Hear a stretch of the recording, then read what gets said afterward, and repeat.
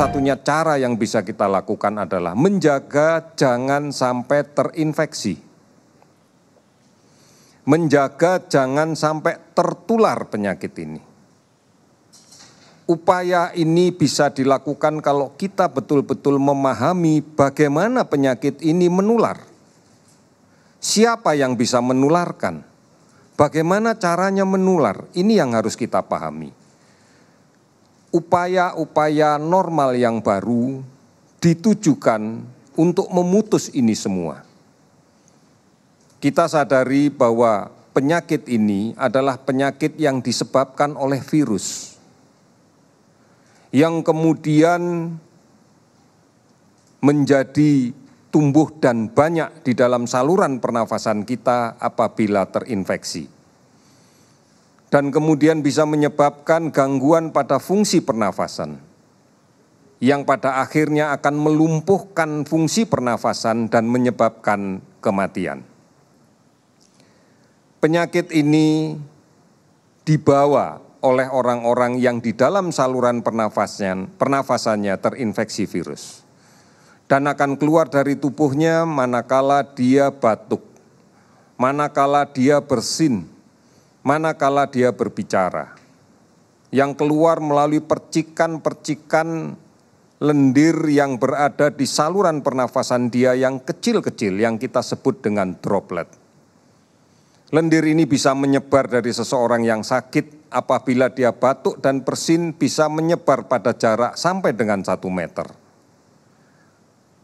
Percikan ini bisa mengenai orang lain yang tidak terlindung dan terhirup di saluran nafasnya dan kemudian akan tumbuh di dalam saluran nafasnya dan dia akan menjadi sakit.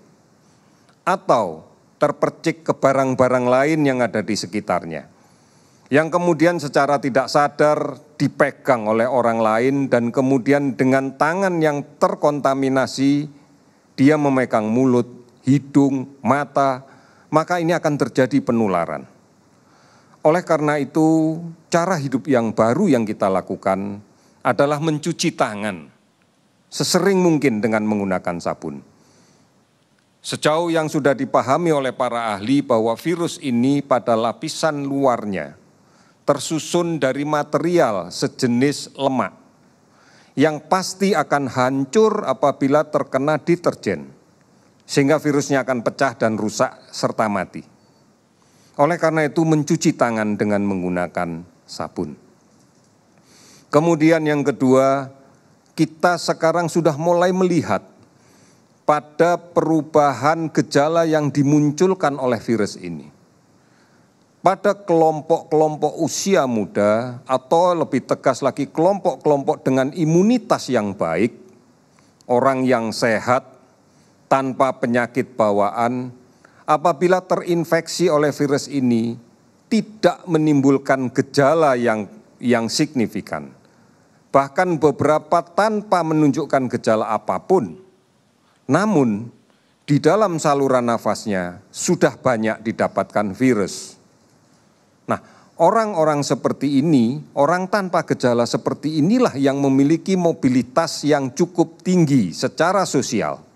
Karena dia tidak merasa sakit, karena dia tidak tahu bahwa dirinya terinfeksi. Orang inilah yang kemudian memiliki peluang paling besar untuk kemudian menularkan penyakit ini ke orang lain. Baik secara langsung seperti yang kami sampaikan di depan, maupun secara tidak langsung melalui percikan-percikan droplet dia pada benda di sekitarnya. Oleh karena itu, aktivitas sosial dia yang dimaknai dengan pergerakan mereka kita batasi. Inilah gunanya kenapa kemudian setiap kita keluar dari rumah gunakan masker. Karena kita tidak pernah tahu di luar rumah siapa yang orang tanpa gejala tersebut. Oleh karena itu tetap di rumah menjadi pilihan. Kalaupun terpaksa harus dikeluar keluar rumah, gunakan masker hindari kerumunan yang tidak memungkinkan kita bisa menjaga jarak lebih dari satu meter. Ini menjadi penting.